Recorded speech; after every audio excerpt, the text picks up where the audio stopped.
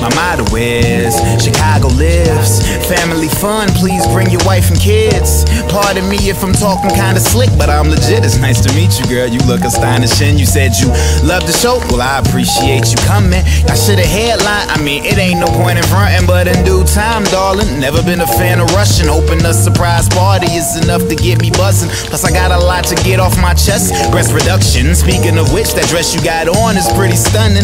I'm hoping all my fans ain't masters of seduction, but you insist that this really ain't the proper introduction.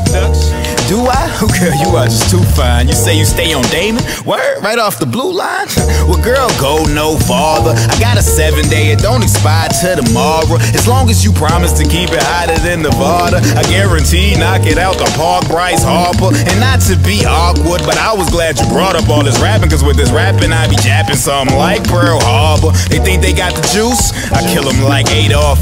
Feeling like the old 012 Bulls in the playoffs. Came to right before tip off with a whole lot to lose, more to prove, and no days left to take off. So I G4 for G's with no Wi Fi or cheat codes to this game of life that we abide by.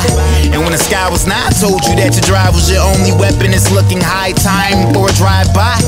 Cause none of these niggas should stand beside I, let alone in front, which is why I strive. But I seem to be ranting, pardon the diatribe.